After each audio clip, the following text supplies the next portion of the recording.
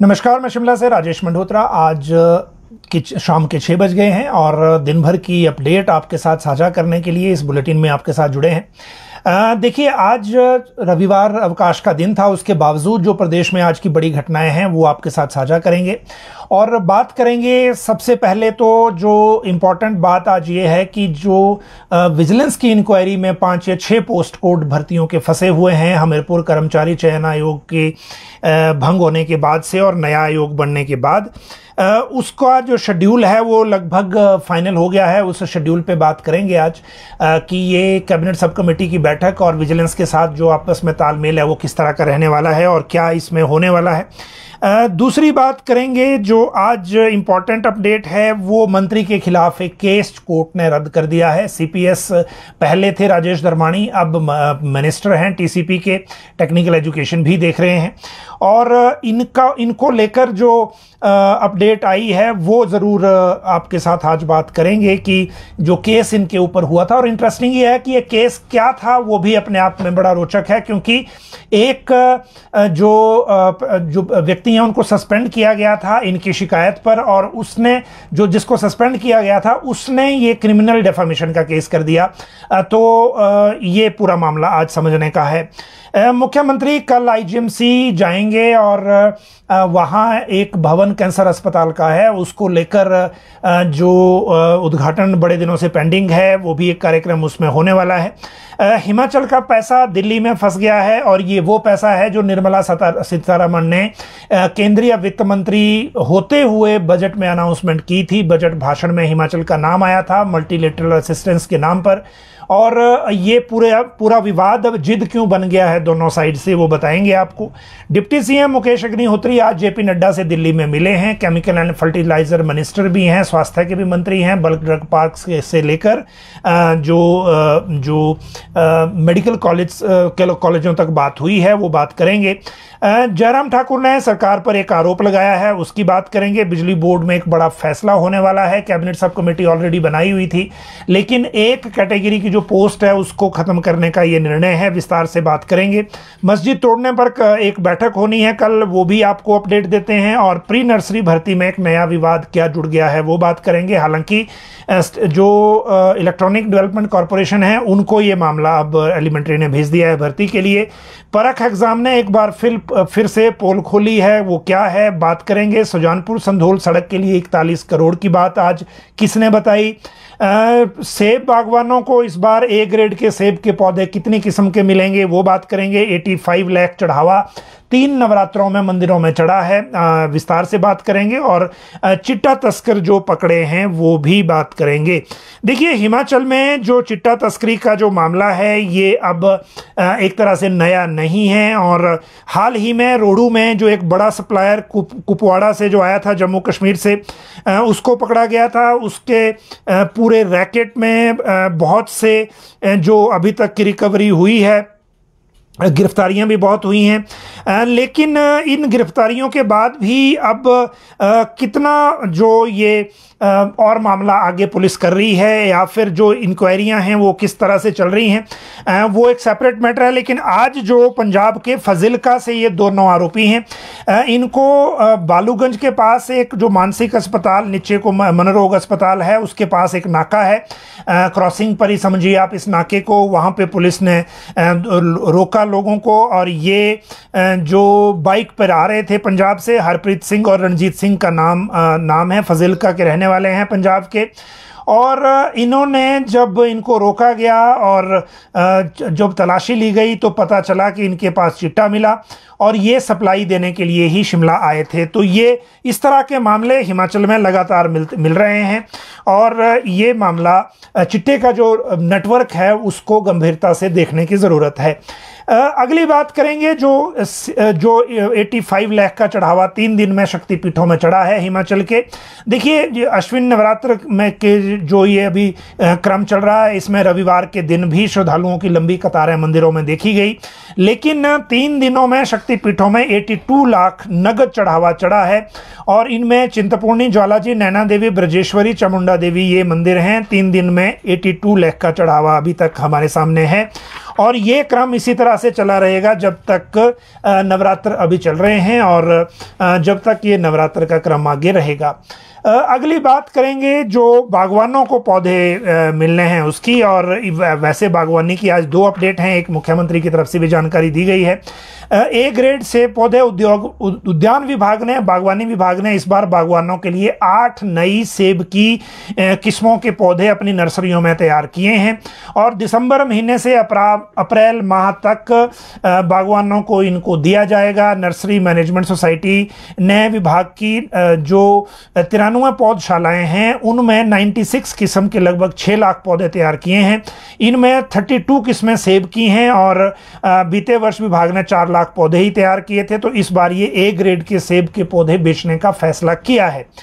साथ ही आज सीएम ने भी ये बताया है कि एप्पल कंसंट्रेट का जो रिकॉर्ड उत्पादन इस बार हुआ है, और अभी तक तीन संयंत्रों के माध्यम से 1545 मीट्रिक टन सेब जूस कंसंट्रेट बनाया गया है। शिमला जिला के पराला में 814 मीट्रिक टन है, सोलन जिला के परवाणु में छः सौ तिरपन मीट्रिक टन है, और मंडी जिला के जडोल में 78 मीट्रिक टन है।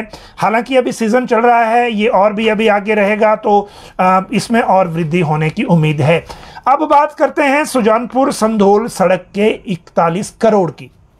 जो हमीरपुर के सांसद हैं अनुराग सिंह ठाकुर, उन्होंने आज हमीरपुर में ये कुटेड़ा पंचायत में भारतीय जनता पार्टी के सदस्य अभियान के कार्यक्रम था, उसमें हिस्सा लिया।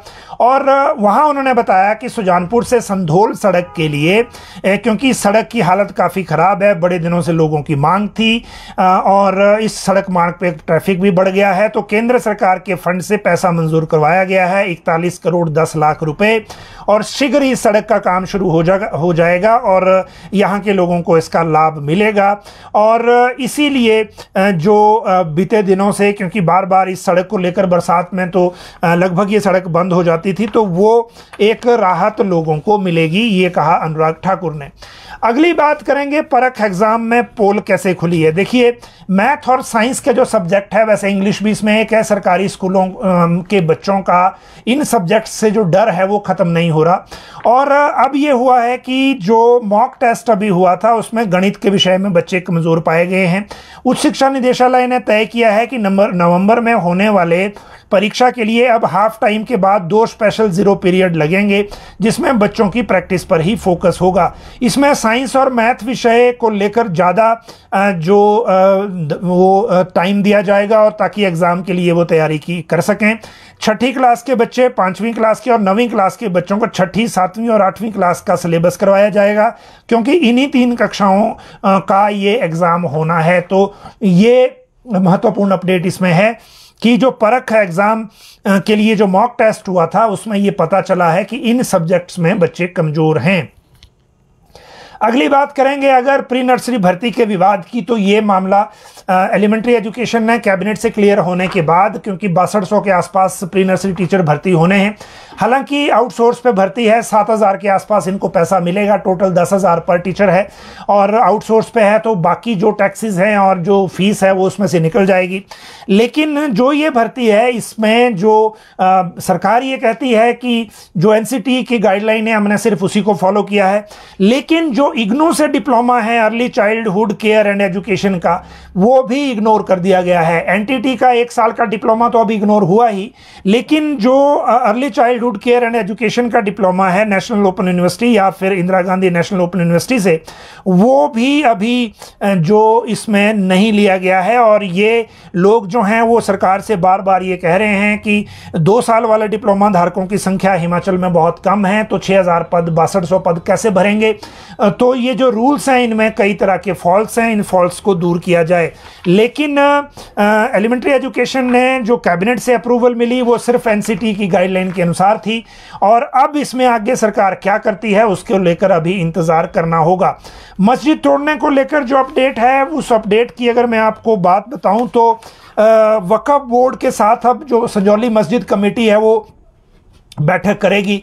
और ये वकफ बोर्ड से इस मस्जिद को के ऊपर की तीन मंजिलें जो कोर्ट का फैसला है जिनको हटाने को कहा है उसके लिए फंड की मांग करेगी। क्योंकि आ, मैं आपको पहले भी बता चुका हूँ कि पांचवी मंजिल तक नीचे सामान लाना और इसके पिलर्स को हटाना मुश्किल काम है। और इसीलिए इसको लेकर मस्जिद कमेटी जो है अब वकफ बोर्ड से फंड की डिमांड करेगी ताकि दो माह का समय मिला है और दो महीने के भीतर ये काम हो सके। इसको लेकर आगे आ, काम ये किया जाएगा। आ, ये आ, एक अपडेट मस्जिद वाले विवाद में थी। बिजली बोर्ड को लेकर जो बड़ा फैसला है वो भी आपको बता दें और ये बड़ा फैसला इसलिए क्योंकि बिजली बोर्ड में एससी के पद खत्म करने की तैयारी चल रही है। इस समय नौ चीफ इंजीनियर हैं जिनके साथ एससी अटैच हैं कैबिनेट सब कमेटी बनाई गई है बिजली बोर्ड के मामले में और ये राजेश धर्माणी की अध्यक्षता में ही हैं जो कैबिनेट मंत्री हैं। उस कैबिनेट सब कमेटी ने कुछ सिफारिशें बनाई हैं उसमें एससी के पद खत्म करने का विचार विचार है इस पर कर्मचारियों और अभियंताओं के, ने, के ज्वाइंट फ्रंट ने विरोध किया है। ऊर्जा सचिव राकेश कंवर को पत्र लिखा है और कहा है कि यदि ऐसा होता है तो पदोन्नति लाभ प्रभावित होंगे और कर्मचारियों के साथ जो एग्रीमेंट हुआ है विघेटन के समय उसका भी उल्लंघन होता है, इसलिए सरकार इस कदम को ना उठाए। ये डिमांड इस पत्र में की गई है। अगली बात अगर करें तो वो है जयराम ठाकुर के आरोपों की। देखिए, नेता प्रतिपक्ष जयराम ठाकुर ने प्रेस नोट के माध्यम से ये आरोप लगाया है कि राज्य सरकार स्पोर्ट्स की जो एक्टिविटी है, उसमें खिलाड़ियों से पैसे इकट्ठे कर रही है। खेल मैदानों के नाम पर ये वसूली हो रही है। और इस कारण बहुत सारे जो टूर्नामेंट हैं, वो प्रभावित हो रहे हैं। अंडर ट्वेल्व तो बंद ही कर दिया। लेकिन जो बाकी टूर्नामेंट हैं, वो भी प्रभावित हो रहे हैं। तो इसको अब कांग्रेस के नेता ही इसके विरोध में बात कर रहे हैं। हालाँकि उनकी बात को सुना नहीं जा रहा। लेकिन सरकार को इस तरह का स्टेप नहीं लेना चाहिए। ऐसा जयराम ठाकुर की तरफ़ से डिमांड की गई है। अगली बात करें तो deputy chief minister JP Nadda से मिले हैं और ये दिल्ली में मुलाकात हुई है मुकेश अग्निहोत्री की जेपी नड्डा के साथ। जेपी नड्डा हाल ही में हिमाचल के दो दिन के दौरे के बाद वापस गए हैं और मुकेश अग्निहोत्री ने बेसिकली जो मीटिंग की, वो मीटिंग थी बल्क ड्रग पार्क को लेकर जो ऊना के हरोली विधानसभा क्षेत्र में बनना है, जिसको लेकर स्ट्रेटेजिक पार्टनर राज्य सरकार खुद बनने जा रही है और इसीलिए केंद्र सरकार के केंद्रीय मंत्री से उप मुख्यमंत्री ने मुलाकात कर कहा है, एक डिमांड की है कि इंफ्रास्ट्रक्चर डेवलपमेंट फंड के नाम पर अलग से हिमाचल की मदद की जाए ताकि इस बल्क ड्रग पार्क को बनाने में समय जाया ना हो और जल्दी ये बन पाए। राज्य सरकार ने पहले ही ये डिसीज़न ले लिया है कि हम इसमें स्ट्रेटेजिक पार्टनर होंगे और हम ही इसमें पैसा लगाएँगे। लेकिन राज्य की स्थिति को देखते हुए केंद्र सरकार इसमें और मदद करे, ऐसा मुकेश अग्निहोत्री ने कहा। दूसरा, उन्होंने ऊना में भी एक मेडिकल कॉलेज को खोलने की डिमांड की। तर्क ये दिया जा रहा है कि बिलासपुर में एम्स हो गया, हमीरपुर में मेडिकल कॉलेज हो गया। अब ऊना में भी मेडिकल कॉलेज खोला जाए और जो पीजीआई का सैटेलाइट सेंटर है ऊना में, उसको लेकर जितनी जो काम अभी पेंडिंग है, उनको जल्दी करवाया जाए। ये डिमांड की गई है उप मुख्यमंत्री की ओर से। केंद्रीय फर्टिलाइज़र और केमिकल मंत्री और स्वास्थ्य मंत्री जेपी नड्डा से। हिमाचल का पैसा पैसा दिल्ली फंस गया है। और ये पैसा क्यों फंसा है? ये आ, कहानी आ, एक तरह से दोनों तरफ़ से गतिरोध दूर ना होने की है। देखिए निर्मला सीतारमण ने इस बार जो पहला बजट अपना दिया था ते, तेईस जुलाई 2024 को क्योंकि लोकसभा के चुनाव होने के बाद जब तीसरी बार नरेंद्र मोदी की सरकार बनी तो फिर क्योंकि इससे चुनाव से पहले वोट ऑन अकाउंट था और उसके बाद रेगुलर बजट दिया गया इस बजट की घोषणा में, बजट भाषण में निर्मला सीतारमण ने कहा था कि केंद्र सरकार असम, सिक्किम और उत्तराखंड को ग्रांटी नेट देगी और हिमाचल को आपदा पर, राहत के लिए जो आपदा से नुकसान हुआ था, मल्टीलेटरल असिस्टेंस दी जाएगी। ये अनाउंसमेंट बजट में की गई थी, बजट भाषण में की गई थी। इस अनाउंसमेंट के इमीडिएट बाद सेम हफ़्ते में ही हिमाचल सरकार ने जो केंद्र सरकार को एक पत्र भेजकर इसकी आपत्ति जताई थी कि जब तीन राज्यों को ग्रांटीन एड मिल रही है तो हिमाचल को मल्टीलेटरल असिस्टेंस क्यों और हिमाचल को भी ग्रांटीन एड ही दी जाए। अब इन दोनों में डिफरेंस ये है कि अगर ग्रांटीन एड मिलेगी तो राज्य सरकार अपनी ज़रूरत के मुताबिक उसको, उस पैसे को खर्च सकेगी। अगर मल्टीलेटरल असिस्टेंस मिलेगी तो सिर्फ़ फंडिंग एजेंसीज के माध्यम से पैसा आएगा जो सिर्फ़ डीपीआर के ज़रिए जाने वाले प्रोजेक्टों के लिए ही होगा। मतलब वो टाइट मनी होगा अनटाइड नहीं होगा। राज्य सरकार को इस वक्त लूज मनी की ज़रूरत है ताकि हम अपना जो ट्रेजरी का बैलेंस है उसको मेंटेन कर सकें। लेकिन जब हमने एक हफ़्ते में ही इसको अपोज कर दिया, एक तरह से आपत्ति जता दी, उसके बावजूद केंद्र सरकार ने एडीबी और वर्ल्ड बैंक को कहा कि आप नेगोशिएशन की प्रक्रिया शुरू करिए हिमाचल सरकार के साथ। ताकि हम हिमाचल सरकार को मल्टीलेटरल असिस्टेंस देने पर फैसला ले सकें। इसके बाद वर्ल्ड बैंक ने हिमाचल सरकार के अधिकारियों को फ़ोन किया कि वो उनका मिशन हिमाचल आना चाहता है। और वो हिमाचल सरकार अपना शेड्यूल बताए कि वो वर्ल्ड बैंक का मिशन कब हिमाचल आए, ताकि हिमाचल सरकार के अधिकारी उस मिशन में साथ हों। और जो नुकसान हुआ है, उसकी भरपाई को लेकर हम जो अगला काम है, वो किया जा सके। लेकिन हिमाचल सरकार की तरफ़ से वर्ल्ड बैंक को शेड्यूल अभी तक नहीं दिया गया है, क्योंकि अगर हिमाचल इसको एग्री करेगा तो ऐसा लगेगा कि हमने एग्री कर लिया कि हमें ग्रांट नहीं चाहिए, हमें मल्टीलेटरल असिस्टेंसी चाहिए। इस सारी दुविधा में हिमाचल को जो पैसा आना है सेंटर की बजट अनाउंसमेंट के मुताबिक या बजट अनाउंसमेंट के अनुसार वो पैसा अब नहीं अभी तक आ रहा है उस पर फैसला नहीं हो पा रहा है। जहाँ तक पीडीएनए की बात है पोस्ट डिजास्टर नीड असेसमेंट की जिसके लिए 9,900 करोड़ क्लेम किए गए हैं उसको लेकर केंद्र सरकार ने गृह मंत्रालय ने जो रूल्स हैं वो फाइनल कर दिए हैं, लेकिन अभी भी हिमाचल के मामले का कोई पता नहीं है कि पैसा कब हिमाचल को दिया जाएगा।